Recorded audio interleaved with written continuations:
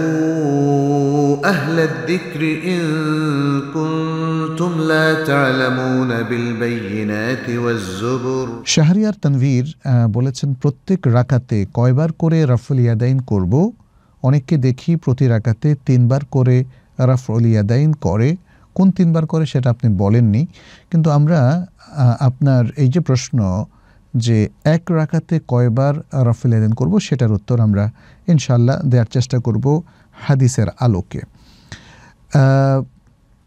প্রথম যে সময়টায় হাত উঠিয়ে আল্লাহ আকবার বলতে হয়, রফুল ইদাইন মা তাকবীর সেটি হলো আন্দা ইফতেতাহ সালাহ।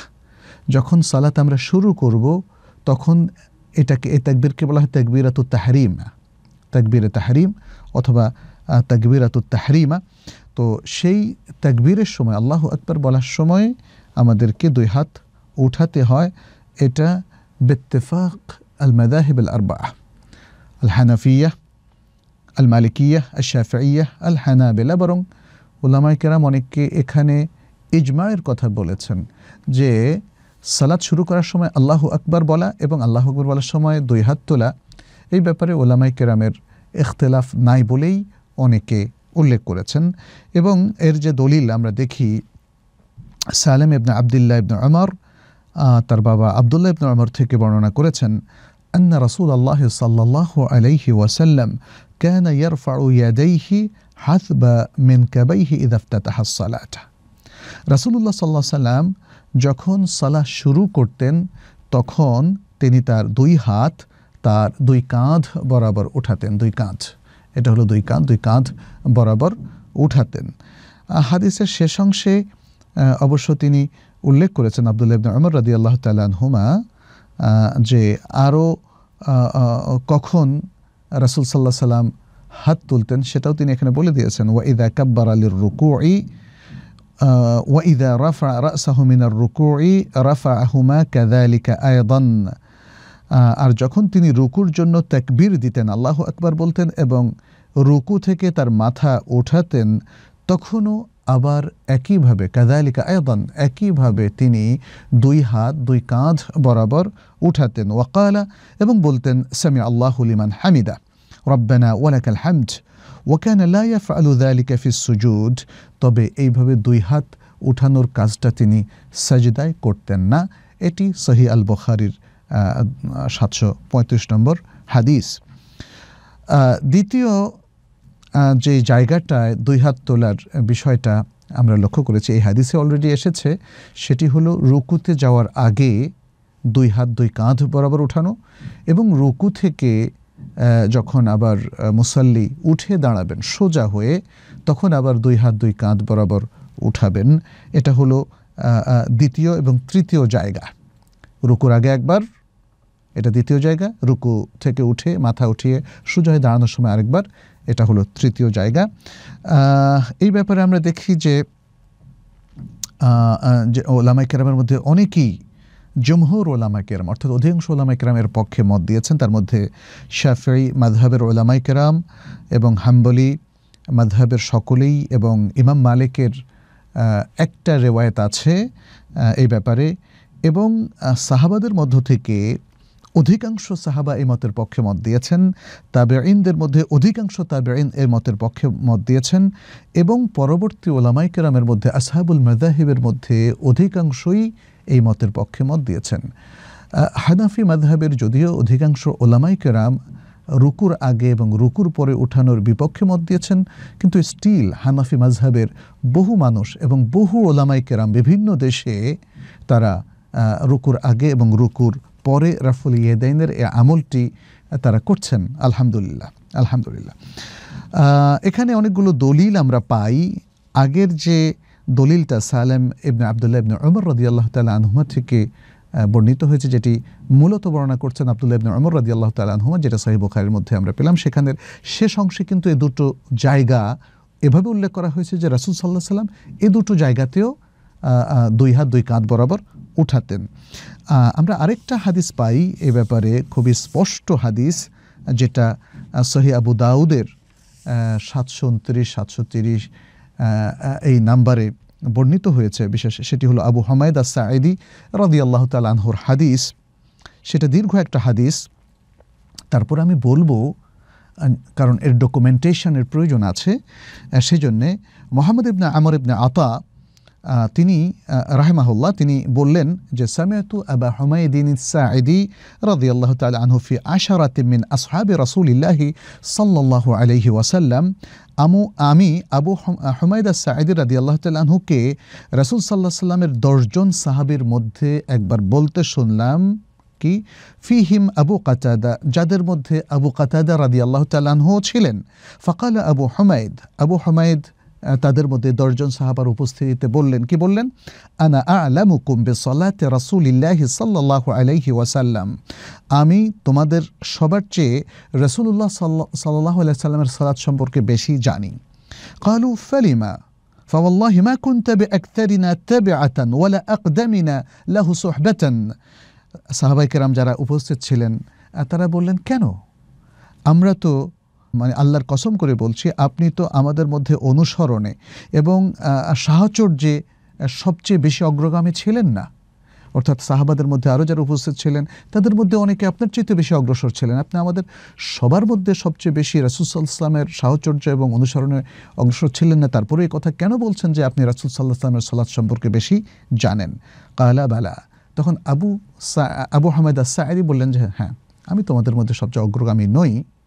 এ কথাটা যখন বললেন তখন কালু ফাআরেদ তাহলে এখন আপনি আপনার কথা পেশ করুন فقال كان رسول الله صلى الله عليه وسلم إذا قام إلى الصلاة يرفع يديه حتى يحاذى يحاذي بهما من كبيه حتى يقر كل عظم من كل عذب في موضعه معتدلا তিনি বলা শুরু করলেন যে রাসুল্লাহ সাল্লাহ সাল্লাম যখন সালাতে দাঁড়াতেন তখন তিনি তার দুই হাত তার দুই কাঁধ বরাবর নিয়ে আল্লাহ আকবার বলতেন এবং সোজা হয়ে এমনভাবে দাঁড়াতেন যাতে তার প্রত্যেক হাড় তার স্বস্ব স্থানে চলে যায় ثم يقرأ ثم يكبر فيرفع يديه حتى يحاذي بهما بنكبيه তারপর তিনি কেরাত পড়তেন তারপর তিনি আল্লাহ আকবর বলতেন কেরাত পড়ার পরে আল্লাহ আকবর বলতেন তারপর তিনি তার দুই হাত আবারও উঠাতেন দুই কাঁধ বরাবর হওয়া পর্যন্ত সুম্মাইয়ার কাউ তারপর তিনি রুকু করতেন।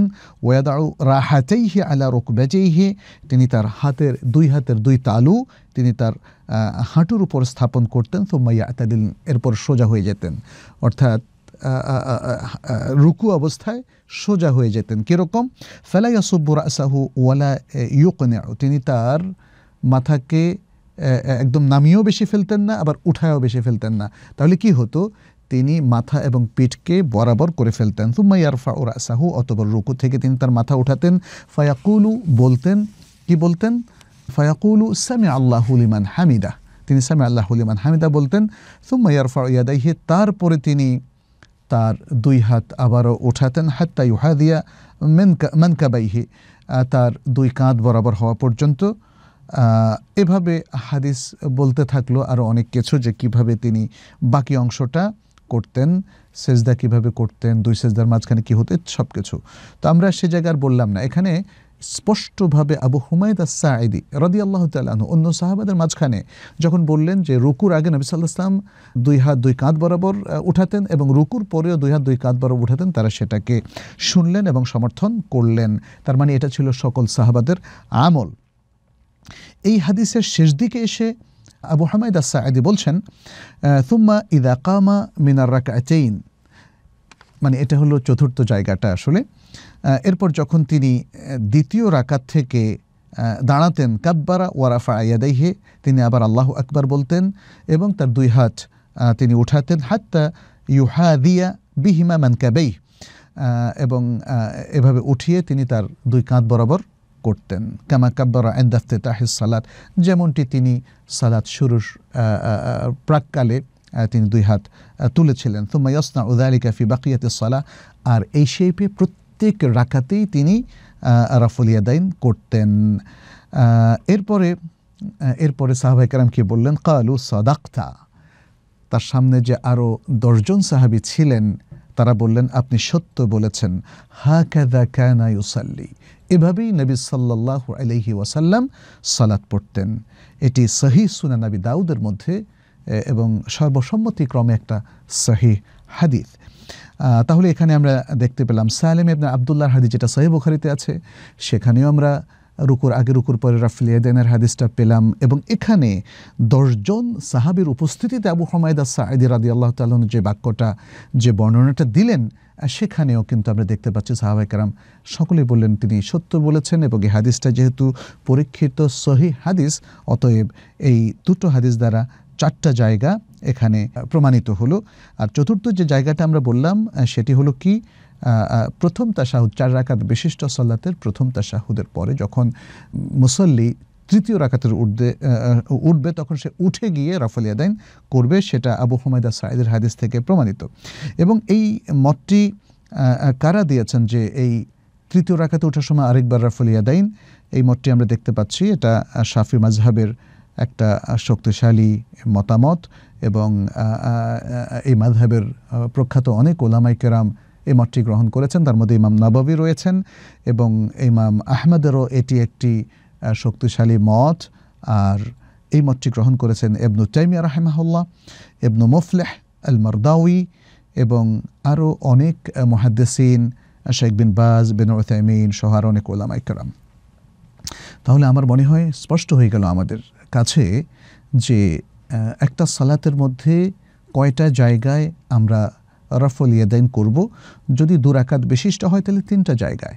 প্রথম হলো এন্দাল ইফতেতাহ, সালাদ শুরুর প্রাককালে। আরেকটা হলো প্রত্যেক রাকাতের রুকুতে যাওয়ার আগে একবার এবং রুকু থেকে উঠে একবার। তাহলে প্রত্যেক রাকাতে তিনবার করে প্রথম রাকাতেও, আর দ্বিতীয় রাকাতে তো আর ইফতেতাহ হবে না, তাইলে দ্বিতীয় রাকাতে দুইবার, দ্বিতীয় রাকাতে দুইবার। আর যদি চার রাকাত বিশিষ্ট সালাত হয়, তাহলে তৃতীয় রাকাতে আরও একবার। তাহলে তৃতীয় রাকাতে, তিনি যখন দ্বিতীয় রাকাত থেকে উঠে দাঁড়াবেন একবার, তারপর রুকুর আগে একবার, রুকুর পরে একবার। তাহলে দেখা গেল যে প্রথম রাকাতে তিনবার হলো, তৃতীয় রাকাতেও তিনবার হলো, দ্বিতীয় রাকাতে দুইবার হলো এবং চতুর্থ রাকাতেও দুইবার হলো।